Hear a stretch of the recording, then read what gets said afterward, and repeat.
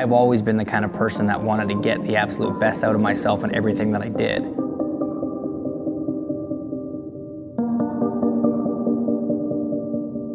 I actually live in a bit of a fear of failure.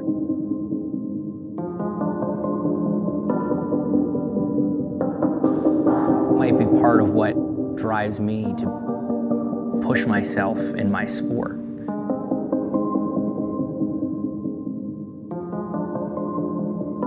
Would never be happy with achieving a goal. I'd be happy with it, but I wouldn't be satisfied because there was always another goal.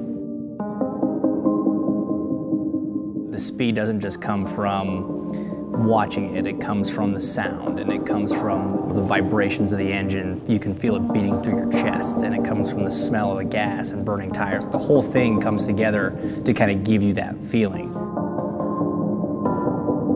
Something about taking this inanimate object and essentially breathing life into it, pushing it to its limit, finding that limit, and sometimes passing that limit. Driving a race car has no limits, it's limitless. Records are made to be broken.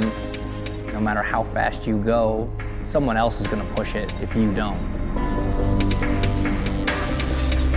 But you find that little bit more and you go that little bit faster. It's finding that last 1% that only, only certain people wired a certain way or even motivated to do. That's something that I've had for a long time now.